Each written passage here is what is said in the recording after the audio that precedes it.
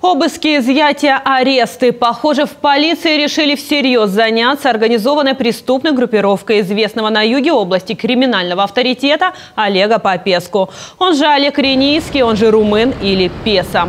Для этого усиленный десант силовиков высадился в Рени, где проживает большая часть участников группировки. Спецназ «Корт» вместе со спецбатом полиции наведались по адресам, где живут подозреваемые в связях с Олегом Попеску. Полиция, открывайте дверь! На пол, на пол легли! На пол лег! Видели? Руки за голову! Справа комната! Контроль за ним, контроль! Чисто!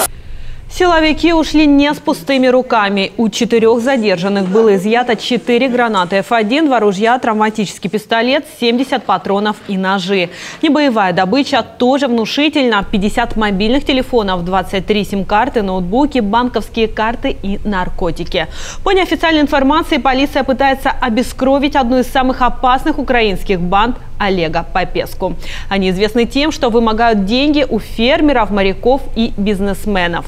Группировка контролирует выращивание и сбыт каннабиса. Сам главарь уже более 10 лет скрывается в Румынии, оттуда и руководит действиями банды. В то же время, по словам местных жителей, главные участники группировки накануне облавы скрылись из города. Их заранее проинформировали.